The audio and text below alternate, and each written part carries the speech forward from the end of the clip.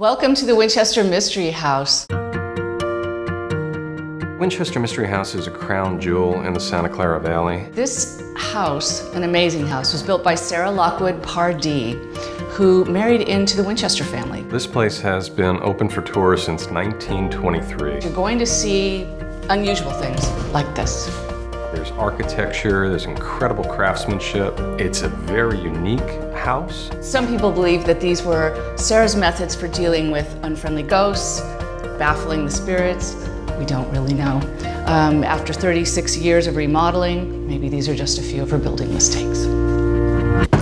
It's an incredible story. You know, it's a true American story. Sarah Lockwood Pardee Winchester was the heiress to the Winchester fortune. And she came out to California in about 1884, 85, and she bought herself a little house and started a grand remodeling project. And it never really ended. So, is everybody ready to discover the unusual, the bizarre, and the beautiful?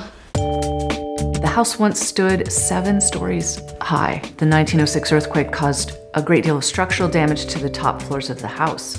Sarah was terrified. At that time, all of this was removed. She took all of it away. And after that, she built out instead of up.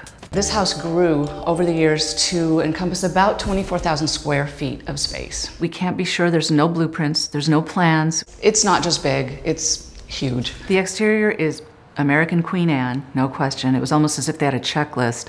Turrets, check. Columns, check. Finials, check. It's, it's Queen Anne. But the interior is absolutely aesthetic movement. So during the aesthetic movement, they didn't see any reason why useful everyday objects shouldn't be beautiful. They felt that beautiful surroundings were morally uplifting, they improved people's quality of life, and so they decorated things. And not just, you know, things you would expect to be decorated, like doorknobs with wonderful designs on them. Um, hinges. Everywhere you look, there's something that has a special detail to it. That radiator, aside from being useful, is also kind of pretty. You'll find natural images leaves, flowers, insects, birds. Sometimes it's playful, sometimes it's um, you know, reminiscent of another culture Persian, Moorish, Egyptian, Greek, and especially Japanese. You'll see bamboo, all sorts of Asian painted wallpaper. We recently reinstalled the original mantelpieces. They're japanned, which means they're painted black, and then they have incised decoration painted gold. Decorative tiles with the cherry blossoms, the sunflowers in the vases with the fish images on them. You can see there's also some of the finest stained glass windows in the house right there. The Japanese influence was very asymmetrical, which is another aesthetic motif. Another aspect of Sarah's decorating genius was her love of stained glass. She actually ordered about 25 windows that were all variations on a theme. And this is an example of one of her beautiful stained glass windows. They say it's the most expensive one in the mansion. It's not only beveled crystal, it's got um, what they call zipper cuts all around the edges to detail it.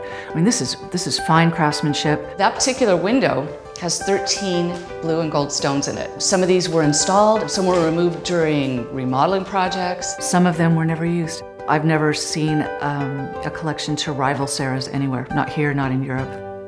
The so-called aesthetic movement was in high gear here. It was just an explosion of creative energy. This fireplace contains so many different decorative media. It's got beautiful decorative tiles, it's got carved wood, it's got beveled crystal. It was art for the sake of art was what this movement embraced. This was the decorative arts, windows, uh, textiles, hardware, um, wallpaper. This is your first example of the Lincrusta Walton wall covering. Sarah loved Lincrusta. This was something elegant for the wealthy, and it was used in places like rooms in the White House. It was used in staterooms on the Titanic. You can see three different patterns in here, and you can see how elegant it can make a room look. She started putting it all over the house. And the walls, you'll find it on the ceilings in combination with wood paneling. You can see that wonderful uh, Lincrusta in some of the panels. It looks kind of like a cosmic explosion up there.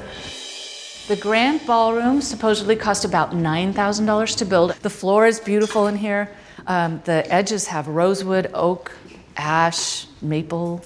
An interesting thing in this room you might want to take a look at. Behind this beautiful carved door is a very utilitarian metal door. Behind that is a safe another door. Finally, the interior of the safe. She was protecting something in here. And according to legend, when she died, all they found was the obituaries of her husband and daughter and a lock of her baby daughter's hair.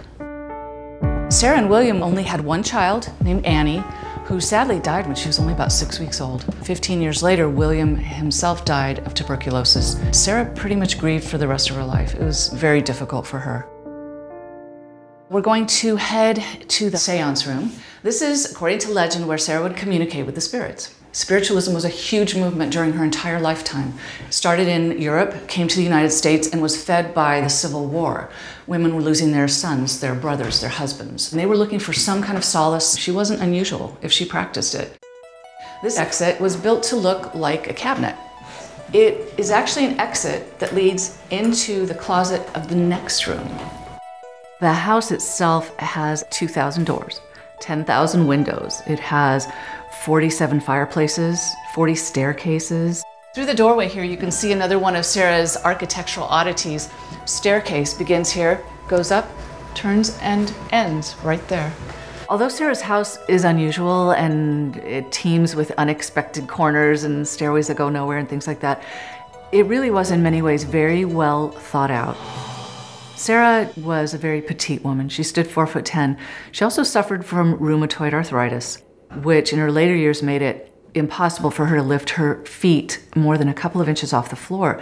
So she devised these small steps, and we call them easy risers. She worked things so that that the world adapted to her. She had, for example, three elevators in her home. She was constantly trying out new ideas. During Sarah's life, most people used bathtubs. She ordered a special shower to be made. It was being advertised as a needle shower, and the water came out from little holes in those U-shaped pipes. And generally in those days, women weren't encouraged to shower. Picture the tiny Sarah with her rheumatoid arthritis trying to get into a bathtub. It would have been horrible. So this would have been a godsend for someone like her. Plumbing was extravagant for the time, and one of the things she did uh, was to put faucets everywhere. She loved gardening, and she had these two indoor conservatories where as she got older, she could garden here in the house and not have to go outside.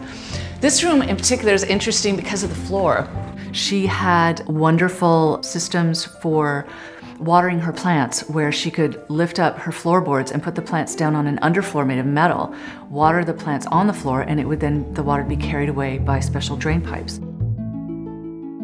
You'll notice there is a hose reel and a faucet. Garden hoses were a brand new innovation. She not only seemed to want to make her life better, but her servants as well. In order to keep her maids from having to be constantly sweeping dust out of the corners, she put these little um, corner pieces in so that the dirt never gets in there. You have built-in laundry trays. They have built-in scrub boards, built-in soap holders, and hot and cold running water. And this was state of the art at that time. Every fireplace, at least except for the gas, um, has a very clever door in the bottom. All the ash goes down a tube, ends up in the basement somewhere, and there's a little door down there that you can then clean out. I guess today you'd call her an early adapter. There are systems that she could communicate with her team throughout the house. She could press a button like this anywhere in the house and bell would ring and a number would drop into the window and that would tell the servants where they could find Sarah in the house. She also had a system of call tubes that went through the walls, and you could actually hear people, say on the fourth floor, talking to you down on the ground floor. So you would be aware if someone wanted to talk to you, the bell would ring, you'd come to the tube, and it's perfectly audible. They would send them down to the basement, these tubes, then they would shoot across under, you know, under the house, and then come up in the part of the house where she wanted them.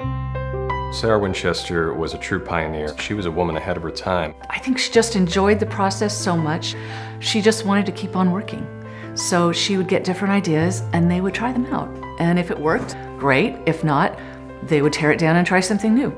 You know, in Sarah Winchester's lifetime, this house was in a constant state of becoming. You know, for 38 years, uh, construction never stopped. Sarah Winchester would be so proud to know that for 93 years, millions of guests have come into her home and admired it and been inspired by it. And for the next 93 years, that's going to continue.